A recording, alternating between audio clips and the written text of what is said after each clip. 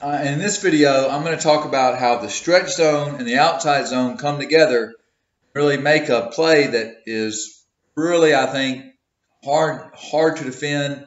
Certainly, um, at least from a, a, a whiteboard perspective and a paper perspective, makes the defense really wrong in anything that they do. So here it is. Just to recap, on the outside zone play, running back's going to be a yard. I would say a yard, but he can be further outside the tight end and his angle. Try to, if the defense doesn't move, remember if the defense doesn't move, he wants to work the ball outside. And the blockers are going to be in that unison to overtake.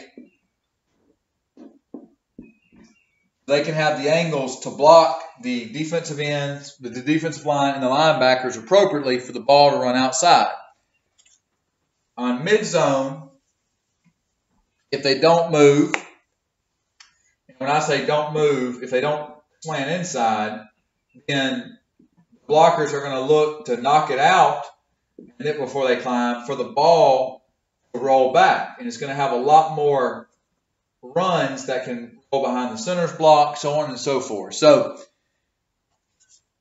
how do you mesh those two together? Well, I think you set the game up with the running back on an outside zone path and, and, and run early in the game. So whether it's this look and it's out of pistol and you you're picking the side that you that you want to run to. Just for instance, and however you want to work the combo, whether you want the, the guard working with a tackle, if he's if he's tight enough on the center, or however you want to do it, doesn't really matter. You start the game like this. The center runs his pull technique. He's looking to get his depth and run and reach the three technique. He's taking a good angle toward this linebacker to block that one. Again, how you want to give a stiff arm, you want to give a bench press. That's you know that's up to you how you want to work the techniques. That's perfectly fine. He's getting the depth and running. He's looking to cut this thing off.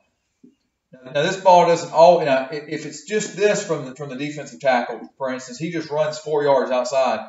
That may that ball might might roll anyway. But there's going to be a huge cutback. But in theory, you want to try to get your depth and run. Go to your pull technique and reach the defense, cut the defense off here, and split them up in this way so the ball can can can can run play side and the, and the running back can get past line of scrimmage. After you've done that, when again the techniques are the same from everybody. After you've done that, you can come back.